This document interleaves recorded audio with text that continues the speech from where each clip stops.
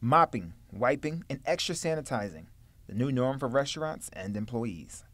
With the recent spike in coronavirus cases within the southern tier, restaurants are taking extra precautions by deep cleaning to keep customers and guests safe and to slow the spread of the coronavirus.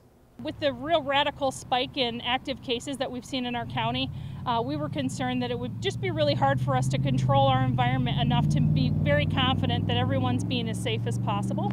So owners like Knowles have briefly closed the doors, grabbed the soap and water, and got to work. During that other time that we're shut down, we're going to continue to just clean inside, sanitize, mop, wipe down everything. Just two weeks ago, a recent cluster of positive cases from a local church put members of the community on high alert.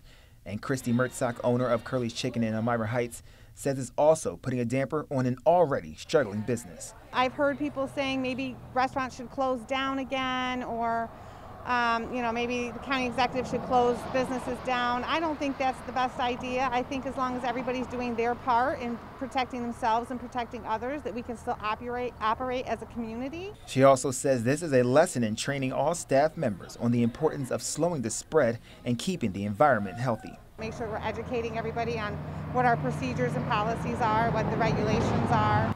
While restaurants are putting in the extra work to keep customers and employees safe, the community still has to do their part to slow the spread of the virus.